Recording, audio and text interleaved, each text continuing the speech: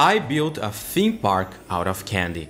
What if you could enter a world full of delicious candy and thrilling attractions? Welcome to Candyland, the sweetest place on earth. But it's not all sunshine and rainbows. Behind this sweet facade sits a park struggling to survive and bring new visitors in. Guests pay a fee to enter the park, but the rides and food are free. As an architect, I have been challenged not only to make this park super profitable, but also mega immersive. Our goals are not easy. Have at least 600 guests in our park. The question is, will we still have the money to do that? Thankfully, the park already has a huge roller coaster, a hyper coaster that is. We also have this immersive inverted coaster. In order to bring in more profits, we first need to spend money. The park has a lot of free real estate, so why not add a flat ride to attract visitors and hopefully sell more tickets? Okay, but how are you going to make this park immersive? By that I mean how can we truly turn this valley into the ultimate candy world? Well, why not let the architecture of the overall park reflect that theme? I decided to have a very diverse park so each section is going to have a different style. Let's focus on this coaster station, which has an eclectic neo-colonial style, inspired by Buenos Aires.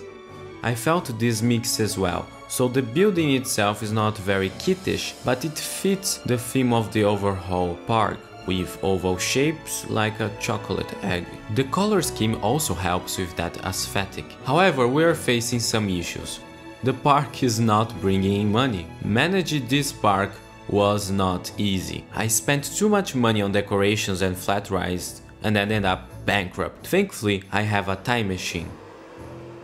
Welcome back, let's pretend nothing happened. As you probably figure out, architects are not the best businessmen. We just spend money, you know, and sometimes in very poor taste. But I figured out a strategy. I ended up building as much as possible at the start of the game, leaving enough money to build two more coasters after I have reached 300 guests. I also did a little cheeky thing of lowering the maintenance budget and adding on-ride photos so guests can spend an exorbitant $6 to take home their memories. At least it's better than SeaWorld though. The cost of these photos helps offset the supply cost for food and drinks. Now that we're bringing money and guests, I was able to build a Mac Extreme Spinning Coaster and achieve the necessary goals. And now I can spend all of this money on decoration. Let's build an alpine village with a sweet twist. Notice the train station, it has a tower with a cherry on top. Our small Swiss village has some interesting elements like a clock tower that is actually a cake, delicious right? But what makes a park special is the landscaping, so trees and greenery are very much important. Next up we need to improve the entrance, as it's not that welcoming. With the neo-colonial candy building as a focal point I was able to build a main street. And here is where we dive into the incredible world of Art Nouveau. Art Nouveau as the name implies, came in a time where architects were figuring out what was going to be the next big thing. Some looked into the past, building beautiful neo-Gothic structures. However, Art Nouveau tried to be its own thing, a new style. Inspired by organic elements, Art Nouveau spread throughout Europe and to the New World.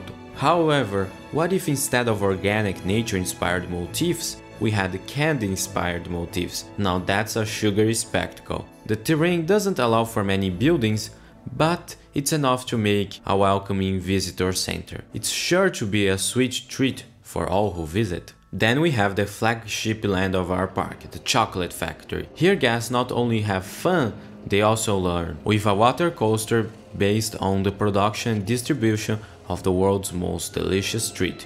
So not only do you learn, you also get wet.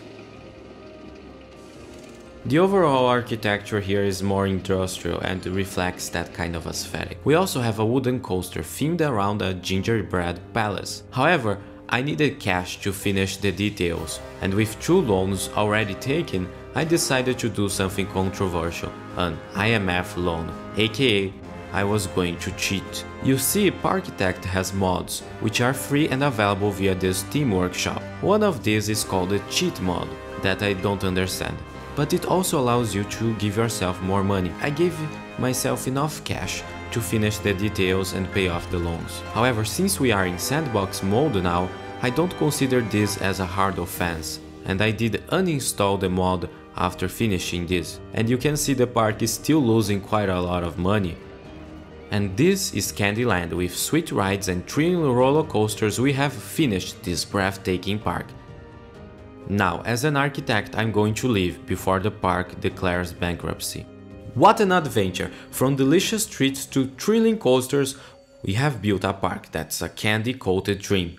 But the fun doesn't stop here. If you enjoyed Candyland, wait until you see our next challenge. Click on one of these videos on the screen right now to find out more about Parkitect.